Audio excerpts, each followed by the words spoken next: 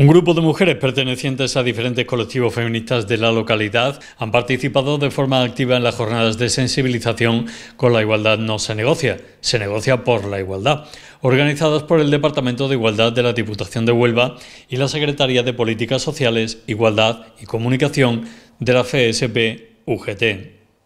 Eh, mira, eh, la iniciativa de, hacer pues, estos talleres mm, que hacen referencia a cómo elaborar los planes de igualdad surge pues, de una iniciativa que tiene el sindicato, porque bueno, pues voy a decir que yo soy Marisa Fernández, represento a la UGT, a los servicios públicos concretamente, pero sí es verdad que nosotros tenemos una preocupación ya no solo por enmarcarlo dentro de los servicios públicos, sino por el resto de, empresas que, hay en nuestra provincia, de que se elaboren los planes, los planes de igualdad. ¿no?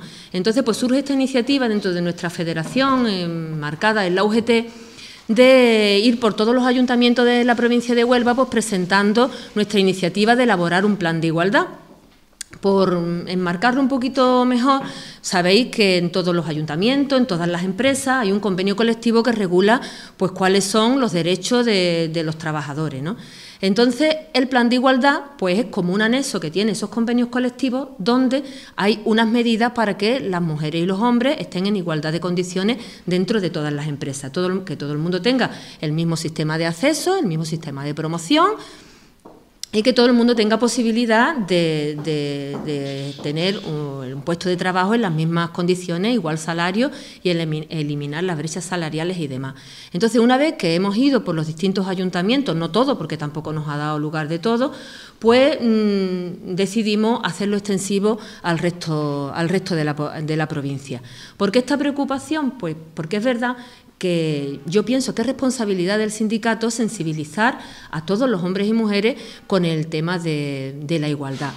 Porque estamos en un momento, mm, en una coyuntura un poco delicada donde hay mucha gente que está haciendo política con la igualdad. Y ello, desde nuestro punto de vista, es algo bastante serio. El tema de la igualdad es una conquista que poco a poco, desde las distintas entidades sociales, no solo por parte de los sindicatos, yo sé que hay muchas asociaciones de vecinos, muchas asociaciones de mujeres que tienen esta batalla abierta en contra de las desigualdades entre los hombres y las mujeres. Entonces, pues por nuestra parte hemos decidido aportar este granito de arena para que mm, dar ese punto crítico a todos los ciudadanos, los que estáis aquí o los que nos estén escuchando por la televisión, para que cuando escuchen otros mensajes, pues sepan ser eh, discriminatorios y sepan discriminar lo que realmente es a los distintos mensajes que se utilizan o bien para hacer política o para hacer promoción de distintas, distintas ideologías. Luchar por la igualdad, evidentemente, no es, es un derecho que tenemos las mujeres, no es algo mm, ni malo para la sociedad, ni va en contra de los hombres, ni va en contra de las entidades ni de las administraciones. Es una guerra que nosotros hemos, mm, muchísimas asociaciones, eh, entablado desde hace muchos años, muchas conquistas sociales las que se han hecho y desde luego ahora mismo, porque estemos en un momento político coyuntural y haya muchos partidos o personas que quieran utilizar temas sociales como es la igualdad, como es la inmigración, o como son las propias costumbres de nuestra tierra, utilizar la demagogia para esto, pues desde luego a, nosotros como, sindicato, como entidad social que somos, desde luego nos van a tener enfrente. Yo pienso que el arma fundamental, y por eso estamos hoy aquí, es la, la formación. Cuando se tiene formación, cuando se tiene pensamiento crítico, se está preparado para lo que sea, para cuando tú escuchas una noticia en la tele, decir, pues estoy de acuerdo con ella, pero estoy de acuerdo porque estos son mis criterios, o no estoy de acuerdo porque estoy preparada para saber qué es lo que quiero, para saber cuáles son mis derechos, para saber dónde estoy y para saber dónde, queremos ir. Hay muchos mensajes que se dan de manera desigualitaria desde la música, desde la televisión, desde la radio, etcétera, etcétera. Y tenemos que estar preparados y preparar a nuestros hijos y preparar a nuestros nietos, a los que vienen detrás, para que sepan distinguir Hoy día se hace mm, política, por ejemplo, desde las redes sociales. Es muy fácil lanzar un mensaje a través de las redes sociales y todo parece que es cierto. Todo lo que se escribe, todo lo que se publica parece que es verdad. Entonces, el sindicato pone al servicio de la ciudadanía sus personas técnicas que no... Mm, eh, lo que nosotros transmitimos es algo técnico, algo que está demostrado, que no solo lo dice la UGT, sino que lo dicen los psicólogos y personas que han estudiado el tema sobre cómo hay que hacer un plan de igualdad en una empresa, sobre cómo hay que ejercer la igualdad, no la discriminación hacia el hombre, sino la igualdad entre hombres y mujeres, para que así sea lo justo. El taller, bueno, pues mm, después de esta presentación, mm, nuestra compañera Cinta, que, ella lleva las políticas sociales dentro del sindicato, va a hacer un taller de sensibilización para que todo el mundo se pueda identificar.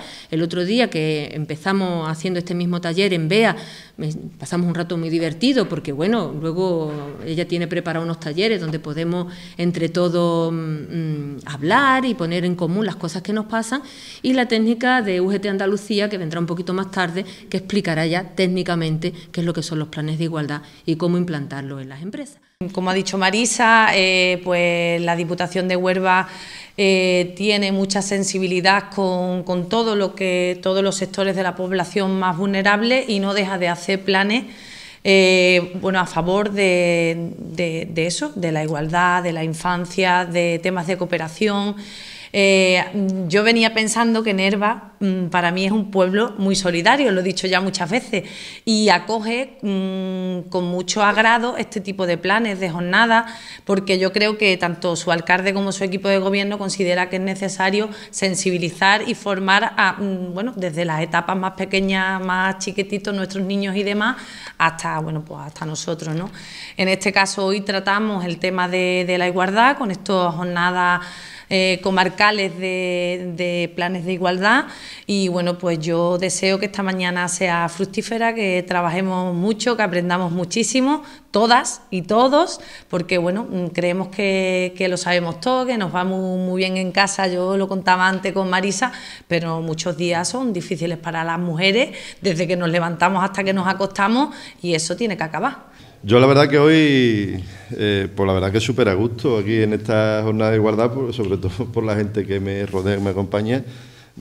Gracias a Merchi, porque es verdad que la tenemos siempre pillada, es la diputada territorial, siempre dispuesta para todo el acto, aquel acto que nosotros organizamos, que como ella dice son muchos, está siempre por aquí. Este fin de semana mismo hemos tenido las jornadas provinciales de los consejos locales de infancia y adolescencia, que la verdad es que que tengo que agradecer eh, sobre todo a los técnicos del, equipo de, Igualdad y de eh, Servicios Sociales del Ayuntamiento por el, gran trabajo que, han hecho, de que ha salido a la perfección, de que me sorprendió en que tan poco tiempo eh, la, escenificación de lo que hicieron nuestros adolescentes, nuestros niños, sobre los problemas y la educación en valores, que es lo que se ha tratado este fin de semana. Así que desde aquí mi reconocimiento al trabajo bien hecho, tanto la concejala, está aquí el psicólogo de nuestro equipo, que es el que más ha trabajado esto. Pues,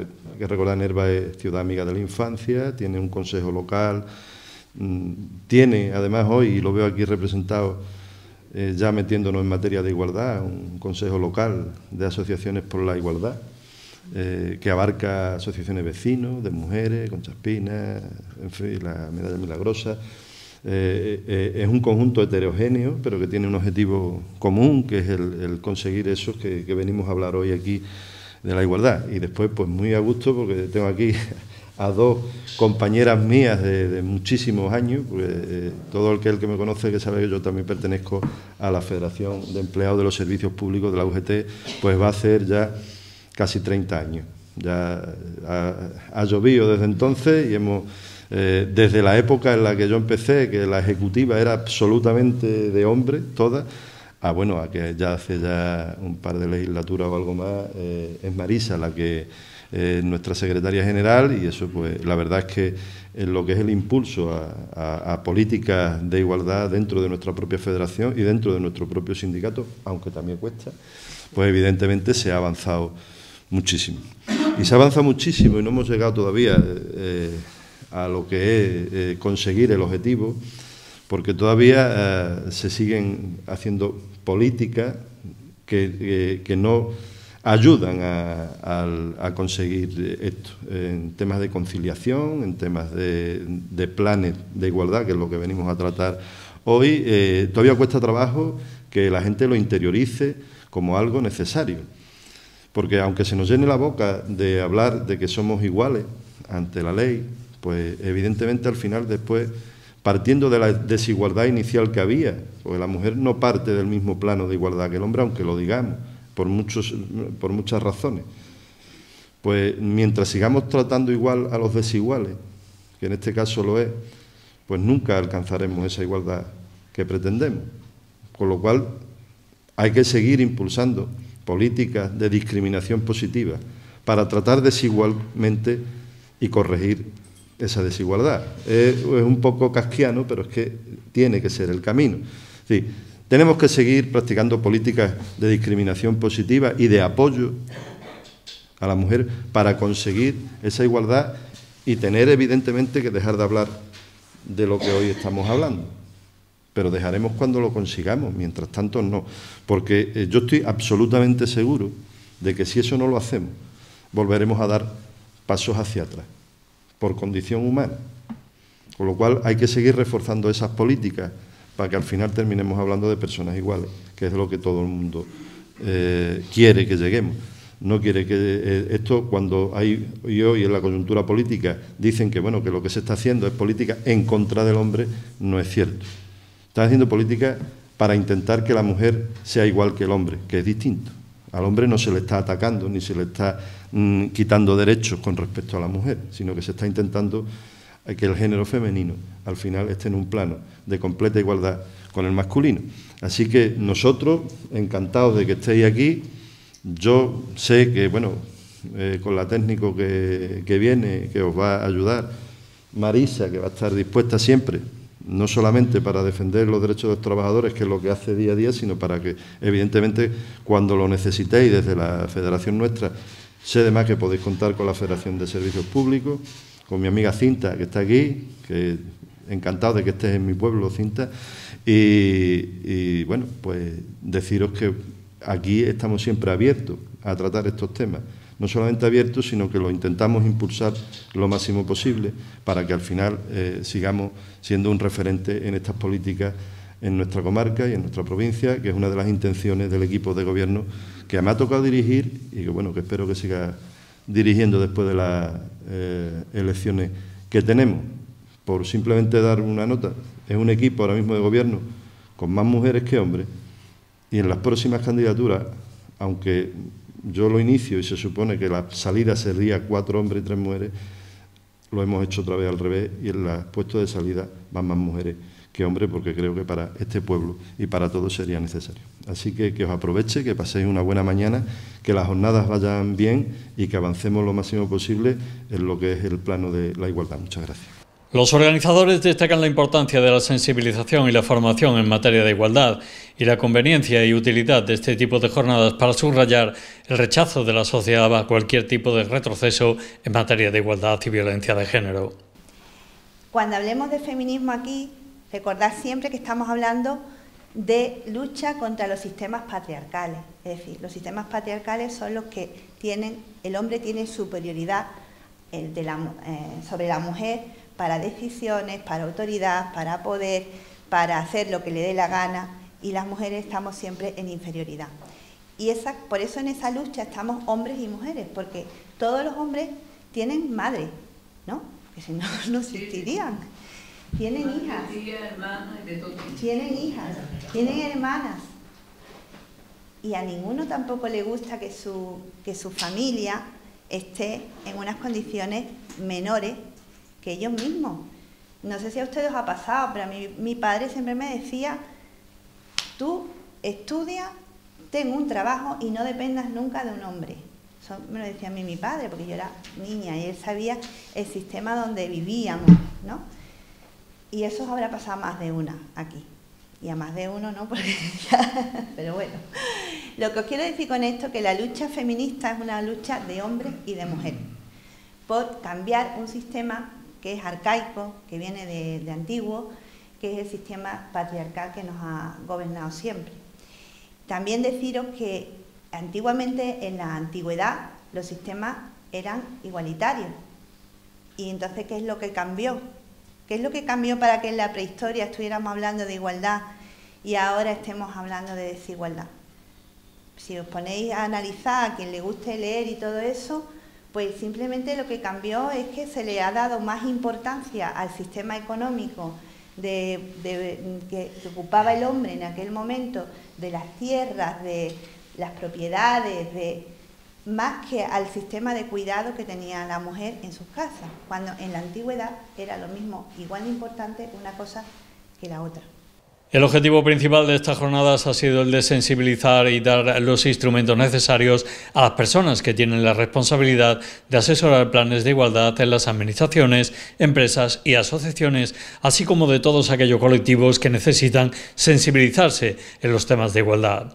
El programa se ha centrado en las fases, contenidos, medidas e instrumentos de los planes de igualdad. Mi abuela es de un pueblo de Extremadura que también me cuenta una experiencia muy parecida. A mí me ha gustado siempre estar con las mujeres cuando se, se ponían a cocinar y contaban su historia, porque hay que aprender de dónde venimos para saber dónde queremos ir. Y es verdad que las diferentes épocas tienen sus cosas. Entonces, ahora todo lo que estaba contando Cinta antes, yo lo que quiero contar es un poco qué es lo que pasa cuando ya en todas estas cosas que ya hemos comentado en el ámbito de la familia, del pueblo, de lo social, se va a una empresa. Me imagino que eh, la, compañera que ha contado las primeras mujeres que entraron en la mina para trabajar, no los típicos trabajos que a lo mejor eran más propios de mujeres, pues se encontrarían con muchas barreras. Por eso, por el hecho de ser mujeres, está haciendo un trabajo de hombre, porque hoy en día todavía pasa. ¿Sabes? Hoy en día todavía pasa. ¿Por qué, se inventa la, ley una cosa que se llama plan de igualdad y para qué sirve? Pues porque todas estas cosas pasan en los trabajos. Todavía tenemos trabajo de hombres y trabajo de mujeres. A pesar de que nos parezca que somos mayoría, las mujeres somos mayoría en las universidades, somos casi el 60% ya. Sin embargo, no estudiamos lo mismo. Hay carreras que están súper feminizadas es decir, te vas a tus ciencias sociales, derecho, historia, literatura, todas estas carreras están mm, plagas de, niñas o de mujeres ¿no? que van a estar estudiando. Te vas a la ingeniería, a la informática, a todas estas carreras y están todas masculinizadas. ¿Y qué pasa? ¿Cuáles son las que tienen más futuro? Las, de, las que tienen los hombres. ¿Cuáles son las que tienen más posibilidades de trabajar? Las que están trabajando los muchachos. Y estas cosas todavía lo que pasa es que cuando ya se empiezan a trabajar también tienen los mismos problemas. Entonces lo que tratamos es de romper un poquito esta, estos estereotipos. Mi hijo tiene 8 años y yo lo que intento es que en el cole, donde están, vayan hombres y mujeres que han estado haciendo cosas distintas, a los niños y a las niñas darles clases para que vean que se puede. Que vaya un, matrón, que vaya un hombre que ha cogido una excedencia para cuidar a sus hijos, a darle una charla y a contarse a los niños y a las niñas que se puede, a una que vaya una, una, una conductora de camiones, una camionera a decirle a las niñas que ella es camionera, porque que vean que se puede ser lo que uno quiera, porque todavía no nos enteramos, pero no. Y eso viene desde que, desde que empezamos, cuando nosotros ponemos a la niña rosa y al niño azul ya lo estamos diferenciando. Y cuando le compramos al niño un camión, a la niña una muñeca ya lo estamos diferenciando. Y eso tiene una connotación que luego, cuando vamos a trabajar, decidimos con lo que hemos estado jugando, con lo que hemos visto a nuestras madres, con lo que hemos visto a nuestras abuelas, con lo que hemos visto a otras mujeres, igual que ellos. Entonces, por esto también cuesta mucho trabajo romper las cosas, no solo dentro de las casas, sino también en los trabajos. Y cuando la gente joven entra a trabajar, a lo mejor no son conscientes de que hay diferencia entre niños y niñas, pero el otro día me contó, entre hombres y mujeres, perdón, el otro día me contó una, compañera que fue a una entrevista de trabajo y le preguntaron si tenía novio o si tenía algo que le impidiera viajar, o niño. Esas, esas preguntas no se lo hacen a los hombres. Y según lo que responda, te va a determinar que te contrate o con no te contrate o con unas condiciones o no te condiciones. Y todavía eso pasa el día de hoy. Por eso estamos tratando de que no pase. Igual que nos pasa muchas veces que estamos en el trabajo y parecemos que estamos iguales, ¿no? Y decimos, y cuando yo voy a una empresa y empiezo a decir, venga, vamos a negociar estas cosas, vamos a ver cuántos cobran los hombres y cuántas cobran las mujeres. No sé si había escuchado hablar de lo que es la brecha salarial. Y todo el mundo que llega a una empresa dice, aquí se cobra lo mismo, aquí se cobra según convenio. Y aquí todo el mundo cobra lo mismo. Mentira. Luego pone los datos encima de la mesa y al final las mujeres siempre son las que cobran menos. Y cuando vamos a pedir un derecho de conciliación, cuando, porque quienes nos cogemos los derechos de conciliación, no solo las va a maternales, aunque ahora vamos a atender a tener los mismos permisos, pero cuando una mujer se pide una reducción de jornada para cuidar a su hijo o a su hija, que en noventa y tantos por ciento son las mujeres las que se lo cogen, es por dos razones. Una porque nos han educado un poco para ser cuidadoras, como había contado Cinta, pero otra razón es la económica. Si nosotras ganamos menos, lo normal es que quien gane menos es quien se reduzca el sueldo para cuidar a los niños y a las niñas, ¿no? Con lo cual entiendo que también aquí hay un componente económico. si las que sois más mayores, vuestras hijas, os han visto alguna vez en esta tesitura de tener que dejar de trabajar un tiempo para poder cuidar a sus hijos, a su hija, a lo mejor también no solamente por eso, sino porque es que ganaban menos que sus parejas. Porque en el momento que, si yo gano el doble que mi pareja, ¿quién se va a quedar a cuidar al niño? Pues a lo mejor se queda él.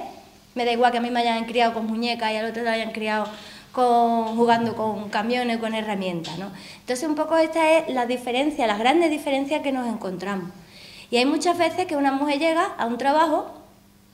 Nosotros en la UGT Andalucía tenemos un servicio jurídico que atiende a mujeres que han sido discriminadas en sus trabajos. Entonces tenemos historias para no dormir.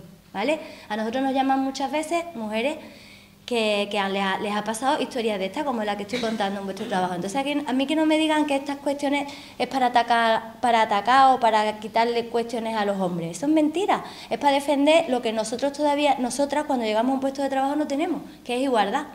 a nosotros nos ha pasado de llegar y una mujer que llega a un puesto de masculinizado, pues le hace la vida imposible porque no la, porque no la quieren porque es una mujer. Es que esto todavía pasa hoy en día. Igual que antiguamente pasaba, pues a lo mejor con las primeras que intentaban romper un poquito los esquemas. ¿no? Yo me acuerdo que antiguamente en mi pueblo no dejaban entrar las mujeres en los bares. Y las primeras que entraran estaban mal vistas socialmente.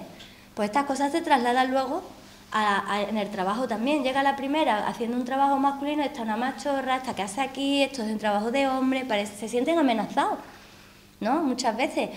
A ellos no les pasa eso cuando entran a trabajar en un trabajo de mujeres. Cuando un hombre, el primer matrón vino, uno de los un matrón vino a, a, dar una charla allí a la UGT, a contar su experiencia como hombre que había entrado en una profesión que de toda la vida las parteras, ¿quiénes eran? Las mujeres.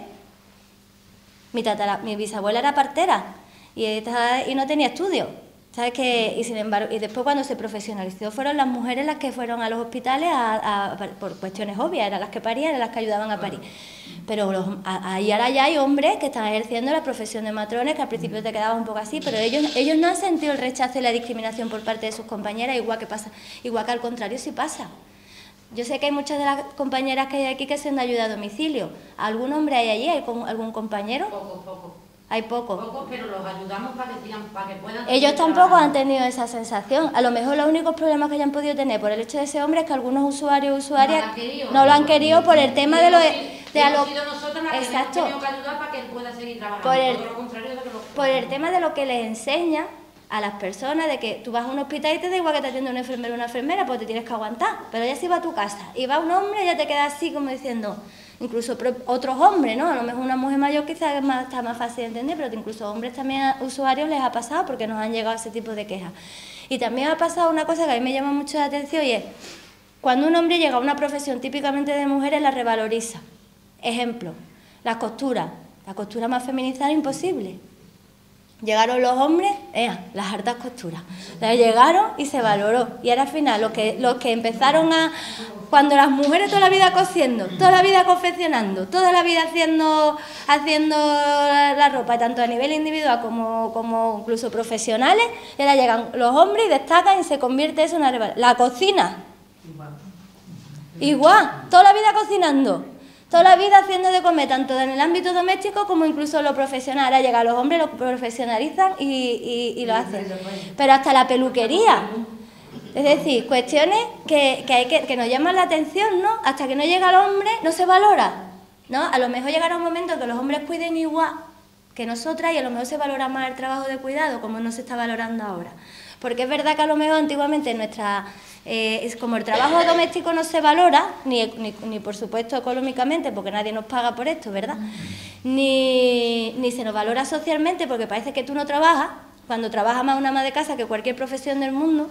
Mira, nosotros hicimos una actividad para, para, para valorar esto que, que dijimos, a ver qué trabajo hace una ama de casa y con qué horario. Y era increíble. Un estudio de Barcelona hace un montón de tiempo lo valoró cuantitativamente según los convenios colectivos.